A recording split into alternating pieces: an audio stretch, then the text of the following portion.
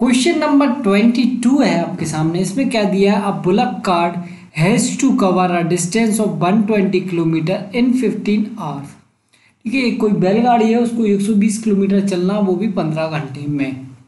अब क्या बोल रहा है कि if he covers half of the journey in three fifth of time half of the journey का मतलब क्या है? कि वन ट्वेंटी किलोमीटर है टोटल जर्नी है उसकी, उसका आधा।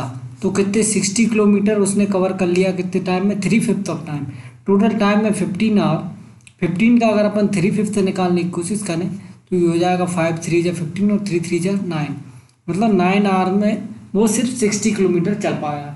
अब अपन को ये बताना है कि the speed to cover remaining distance in the time left has to be अब टाइम लेफ़्ट कितना बचा है?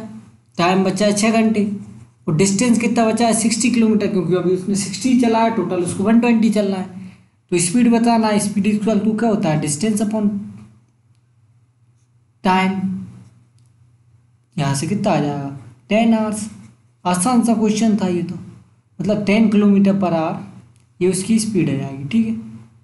ये टेन आवर्स नहीं टेन किलोमीटर पर आवर है। ठीक है? आसान सी बात थी।